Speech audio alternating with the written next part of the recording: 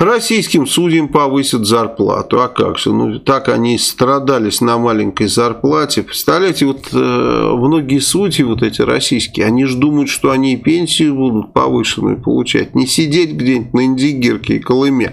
Но те, кто доживут те, кого в первые дни, так сказать, восстание не успеет народ повесить. Потому что, ну, в основном же судьи первыми прикончат. Вы, вы же понимаете, там, пока там КГБшник, где у него на лице, что ли, написано, что он КГБшник, да, там, пока их установят, там, кто-то из них убежит, кого-то поймает, ну, тут уже жар спадет, там, Э, прекратятся уже как бы насилие прекратится. А судить, да вот он, скотина такая, за сплошную лишал меня там, или еще что-то скажет, там, за пьянку за рулем и так далее. То есть, э, будут за конкретные, то есть, конкретные люди будут их карать за конкретные их дела, причем вы же понимаете, это э, может быть и судья-то вот в данном конкретном случае, за что его будет карать данный конкретный человек, может он и не виноват, может этот Скотт действительно пьяный ехал там и так далее,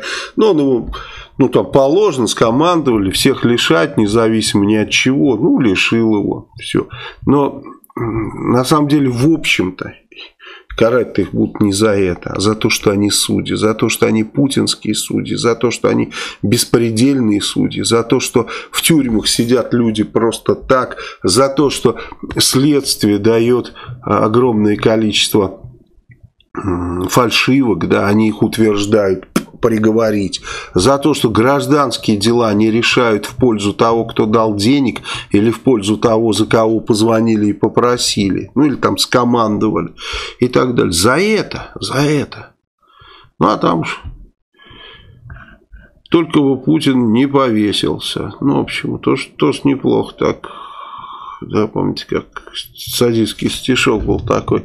Я помню, в детстве в первом классе очень любили мы его читать. Я спросил электрика Петрова, ты зачем ходил на шею провод? Но молчит Петров, не отвечает.